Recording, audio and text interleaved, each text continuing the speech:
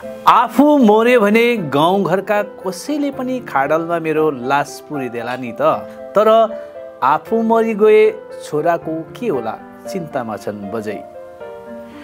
छोरोलाई यति वर्षसम्म स्याहार्दै आएकी कालिम्पोङ पिपल बोटेकी कान्छी बोजूलाई अब भने आफ्नो उमेर बित्दै गएकोले धेरै चिन्ता लाग्न थालेको छ। आफू मरिगए छोराको के होला भन्ने चिन्ताले हाल रातभरि नसुत्ने गरेको तिनी बताउँछिन्। किन लाग्दैन? यस्तो बुढो हुन्जेल बालेको जन्मेदेखि। लाग्छ नि।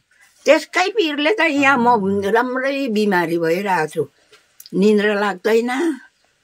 म मऱ्यो भने त म त जसरी भए पनि गनाउनु त गनाउँदिनँ होला नि त।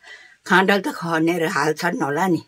यो चाहिँ यो कसले खुवाउँछ कसले सुताउँछ अन्त यसको बिजोग हुँदैन। भोकले प्याक प्याक भएर त्यसै मर्छ होला। त्यही छ मेरो चाहिँ हृदयमा पिर चाहिँ त्यति छ मेरो। मेरो जिउको लागि मलाई सुर्छ छैन। जसरी भए पनि हाल्छन् होला नि हाडलमा त। गत केही दिन अघि पिपलपोटेकी कान्छी राइनी बोजूलाई भेट्न गएकी थिए। घिउ खान मन लाग्यो भनेर छिमेकी दिदीलाई कल गर्नु लगाउनु भएछ। त्यही कारण घिउ बोकेर उहाँलाई भेट्न गएकी थिए। आज त्यही भिडियो हजुरहरू समक्ष साझा गरिरहेकी छु। लु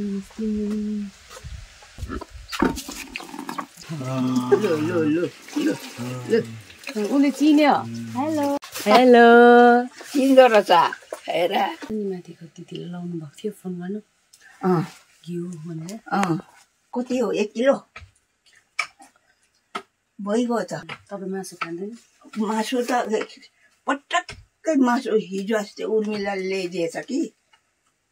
एउटा चना पनि खाएन नानीले चाहिँ खायो। छेरेर झन्नै मऱ्यो किन चिसोले होला हौ?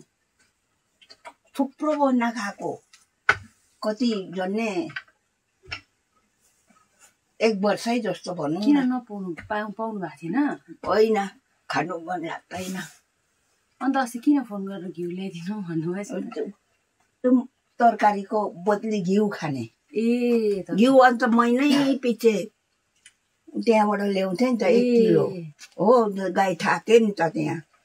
ठुलो चाहिँ छैन। सबै पहिला हामीले भेटेको बाजे बोजूहरूलाई भेट्दै भेट्दै भेट्दै आयो। अन्त हाम्रो राइनी बोजूलाई कसरी बिर्सिनु भनिरहेछ यो चाहिँ तपाईँलाई ल्याइदिएको मैले होइन। लाउँछ तपाईँ लुङ्गी? अब यी लुङ्गी त अन्त यो लुङ्गी छ यहाँ चोलो छ ल चोलो चाहिँ सिलाएकै चोलो त अँ मनपर्छ होला हौ तपाईँलाई हेर्नु त हेर्नु त ठुलो होला होइन होला ठुलो होइन खोकोलै मनपर्छ कि।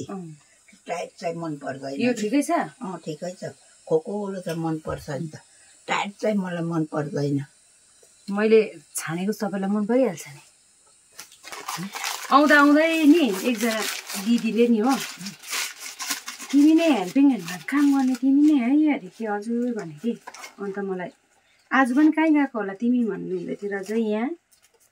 पाँच सौ रुपियाँ दिनुभयो मलाई हो। जहाँ गएको छ? मलाई मलाई चिन्नुहुन्छ। जहाँ गएको त्यहाँ नै दिनु भन्नुभयो। धेरै चाहिँ छैन है पाँच सौ रुपियाँ छ। के थापिरहेको बोजू अब घर पनि चिटिक्कै पारिदिनु भएछ भाइहरूले है। सबै सफा भएछ। धेरै कुराको सुविधा भयो तपाईँलाई है।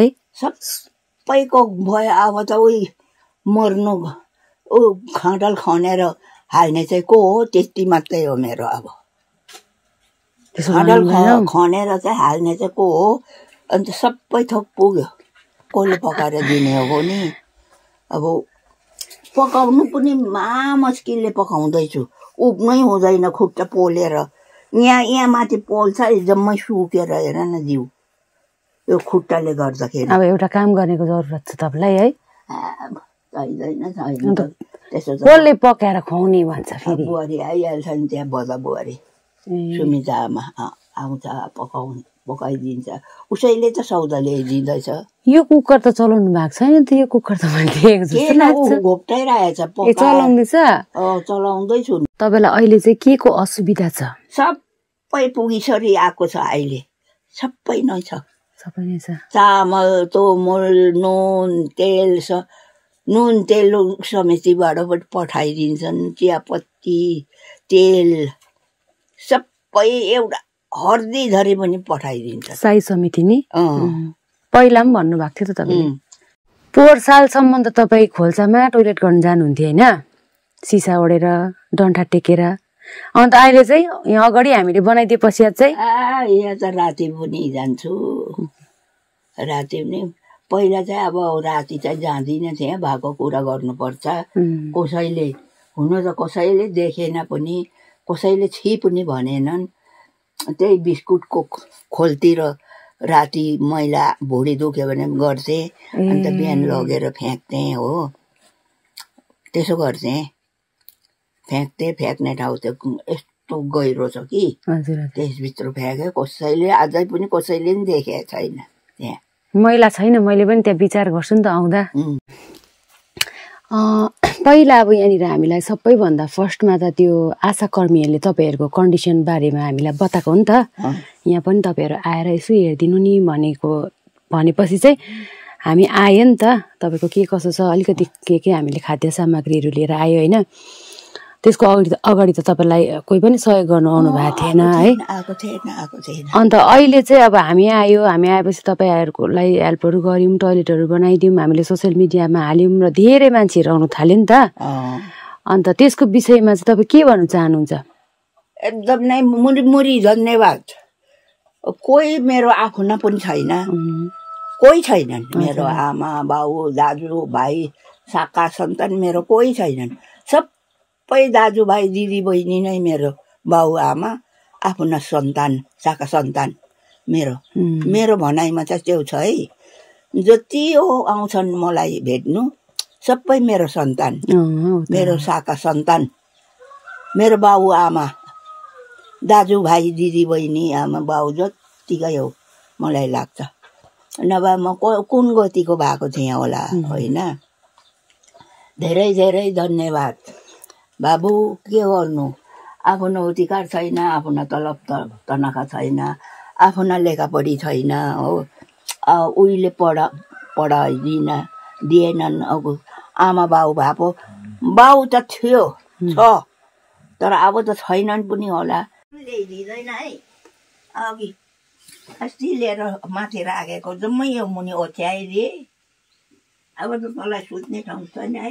ले तलमाथि केही भयो भने तपाईँको आफ्नो छोराको चिन्ता लाग्छ? किन लाग्दैन? यस्तो बुढो उन्जेल बालेको जन्मेदेखि। लाग्छ नि।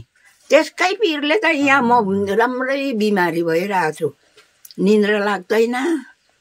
म मऱ्यो भने त म त जसरी भए पनि गनाउनु त गनाउँदिनँ होला नि त।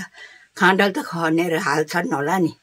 यो चाहिँ यो कसले खुवाउँछ कसले सुताउँछ? अन्त यसको बिजोग हुँदैन। भोकाले प्याक प्याक भएर त्यसै मर्छ होला। त्यही छ मेरो चाहिँ हृदयमा पिर चाहिँ त्यति छ मेरो। मेरो जिउको लागि मलाई सुर्ता छैन। जसरी भए पनि हाल्छन् होला नि खाँडलमा त। गाउँघरको दाजुभाइ यसो खाँडल खनेर त हाल्छन् होला नि। होइन? अन्त यसको चाहिँ बिजोग हुन्छ।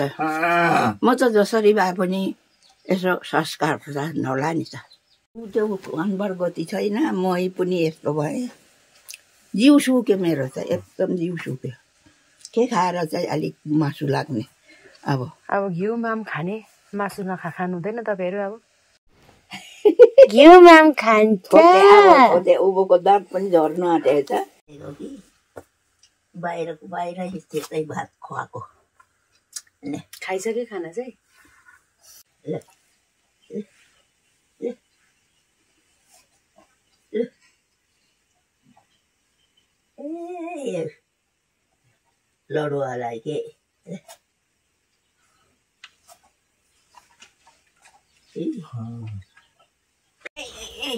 कहाँ गएको ऊ त फर्की त भाइ ऊ त फर्की यता यता यता यता ऊ त ल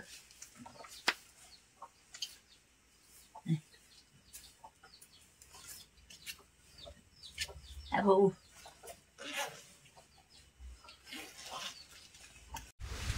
खोइ लु गइ गएको ल बोजू अर्को पालि आउनु मोटो भइरहेको छ होला जस्तै छ बस सिलिटिङ हुने हुँदैन सुलुकु सिलिटिङ होला जस्तो छ हामी हुँदा हुँदै कहाँ हुन्छ सपना देख्दा खालि मर्ने मान्छे मात्रै देख्छु बाई बाई बाई हिँडेको हिँडेको फेरि घिउ खानु मन लाग्यो भने भन्नुहोस् ल ल ल ल ल मान्दैनस् भन्दिनँ अबदेखि पैसा लिनु मान्दैन ल धन्यवाद धन्यवाद बाई